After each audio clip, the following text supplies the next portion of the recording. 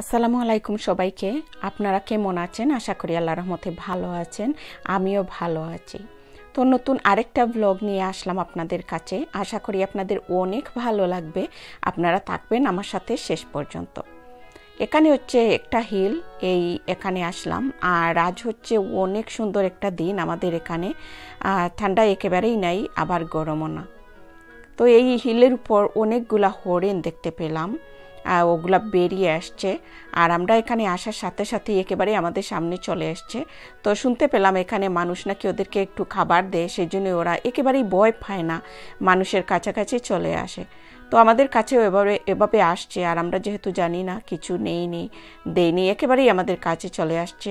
তো ভাবলাম আপনাদের সাথেও শেয়ার করি, আপনাদেরও ভালো লাগবে।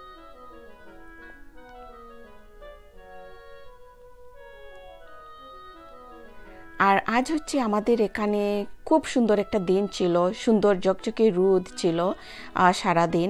আর এই তো বললাম ঠান্ডা একেবারেই নাই, আবার গরমও না। তো সবাই বের হয়ে আসছে পার্কে। আর এই হিলের উপর অনেক সুন্দর, বিস্তীর্ণ জায়গা, অনেক বড় জায়গাটা। আর এখানে সবসময়ই আসলে শীতের সময়ও থাকে। মানুষ কেউ এক্সারসাইজ করতে কিংবা খেলতে এখানে অনেক বড় মাঠও আছে।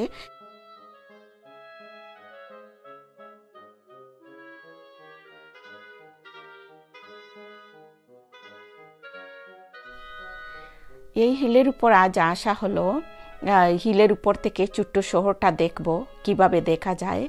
আর শুনেছি অনেক ভালো লাগে দেখতে সেজন্য। আর এই, এখানে যেহেতু অনেক গাছ, সেজন্য সূর্যের আলোটা এখন আর বেশি দেখা যাচ্ছে না। যদিও এই গাছগুলোতে পাতা নাই। দেখতে বোঝা যায় একেবারেই মরে গেছে, আসলে না। বেশি হলে দু তিন সপ্তাহ, তারপর আবার পাতায় পাতায় গাছগুলো ভরে যাবে।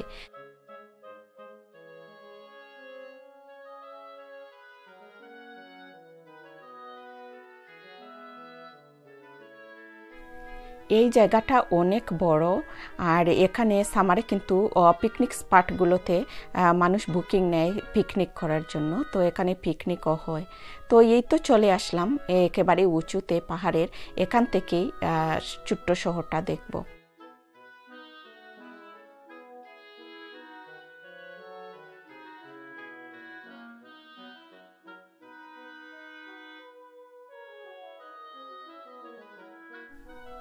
বিকেলের পরন্ত রোদে এই শহরটা অনেক সুন্দর দেখাচ্ছিল।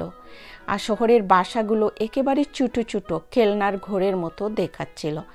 আর এখানে অনেক মানুষের ভিড়, আজ এখানে সবসময়ই মানুষের ভিড় থাকে, এমনকি উইন্টারেও আর একেবারে নিরিবিলি, অনেক ভালো লাগে হিলের উপর থেকে এই যে ন্যাচারাল সাউন্ডটা শুনতে।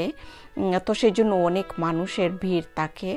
তাছাড়াও এখানে অনেক মাঠ আছে, খেলাধুলার কিংবা এক্সারসাইজের সেই জন্যও মানুষ আসে তো আজও আমাদের আশেপাশে অনেক মানুষের ভিড়।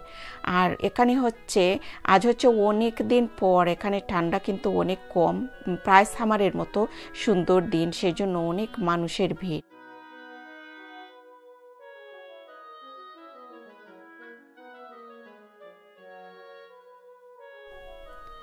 এখানে শহরের গাড়ি চলাচলের যে শব্দটা ভেসে আসে হিলের উপর, সেই শব্দটা অনেক ভালো লাগে, তাই আমি একটু রেখেছি।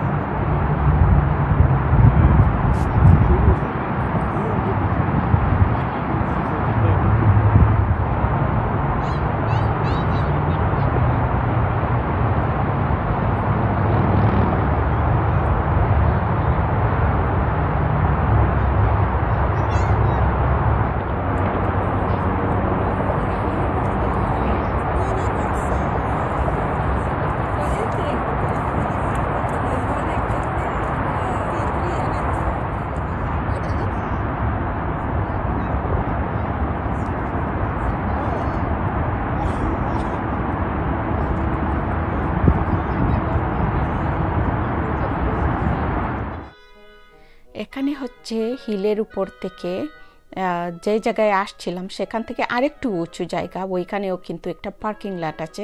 তো আমরা আমাদের গাড়িটা ওইখানেই পার্ক করেছি। তো আমরা এখন উঠছি যে একটু দেখব, হাঁটবো ওই জায়গায়, তারপর আমরা চলে আসব। আর চারদিকে দেখা যায় যেন একেবারে গাছগুলা, ডাল কোনো পাতা নাই, একেবারে মরে আছে। তো আসলে দু তিন সপ্তাহ পর আবার আসব, এই জায়গাটা অনেক সুন্দর। তো আসব, দেখাবো কিন্তু তখন কীভাবে পাতাগুলো পাতায় পরিপূর্ণ হয়ে যায় গাছগুলো।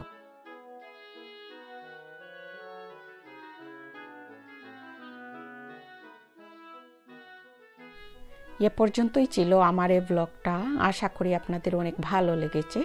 সবাইকে অনেক ধন্যবাদ আমার সাথে থাকার জন্য।